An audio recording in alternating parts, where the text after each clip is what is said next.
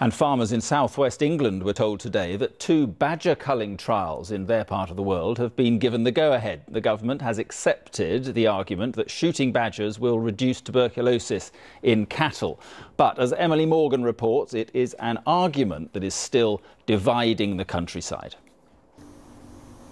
It was the issue that threatened to flare into the next major battle of the countryside, culling badgers to help stop the spread of tuberculosis in cattle.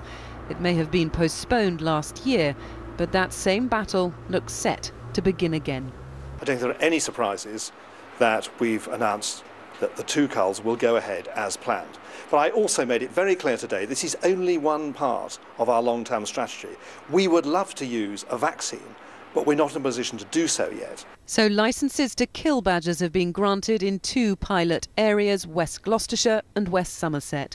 Scientists say 70% of the animals there will have to be shot to have any effect on the disease.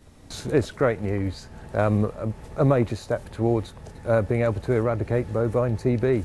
Carl Gray is one of the directors of the company set up to carry out the cull in Gloucestershire. Although not in the pilot area himself, he's campaigned for this for years. This is a disease of badgers and cattle, and controlling it in cattle alone just hasn't worked. Um, every year we're seeing a, a 10 12% increase um, in the number of uh, cattle uh, infected with the disease. But such methods have sparked an emotive response, and many hoped the cull would be rethought. Campaigners against the badger cull have long argued that the scientific evidence just isn't there, that killing badgers will have such a small effect on the spread of bovine TB that it's inhumane and they will continue to fight. This is not the way. The way forward is vaccination of the badgers and of the cows.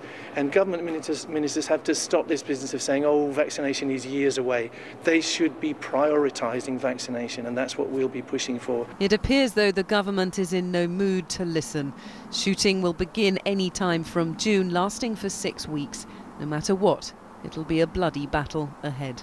Emily Morgan, ITV News, Gloucestershire.